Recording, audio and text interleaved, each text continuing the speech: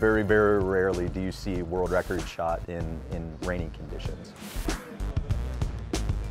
Definitely tests you, right? Um, because things aren't as uh, perfect as you would like them to be. So you have impact to the arrow. Um, typically you have to add yardage, right? Because your arrow is being impacted by rain. Um, your tab, um, or for release shooter, uh, same thing, the inter interaction with your hand. It's wet. Um, and then sight picture as well.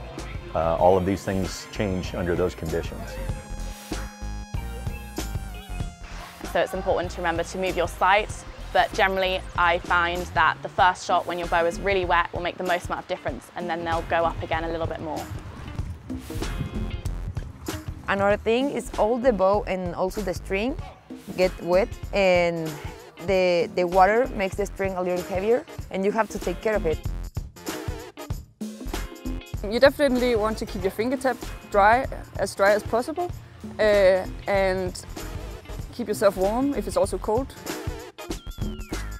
My first end of practice, uh, I was having a little trouble with, with that, so I take out my gloves and I was like, okay, all the time like this.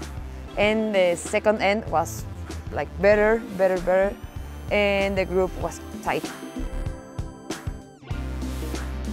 So if your fingers are cold, uh, you've lost dexterity, um, your connection to the bow is gone. Um, it's extremely difficult. You're relying on um, kind of that muscle memory, um, that subconscious to kind of guide you through it because uh, in, in the moment you're unable to really feel what you're doing. I think also stay positive because often that's what gets to you. If you get too cold and start just being negative about it, the weather that you can't change. So just, yeah, stay positive.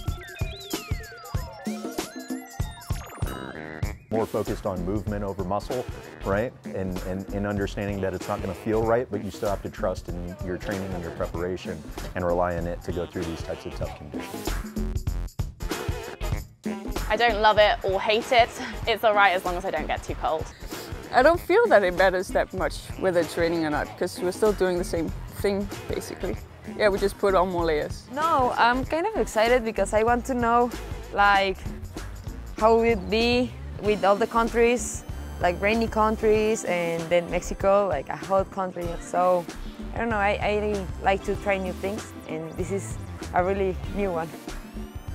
It's going to be uh, some trials and tribulations for some folks. I think the top level will still be able to persevere and push through, uh, mainly because they've done this before and they understand and they trust in their training. Um, some of the newcomers, some of the people who haven't been in these positions before or had to shoot in the rain, um, it's going to be it's going to be difficult for them.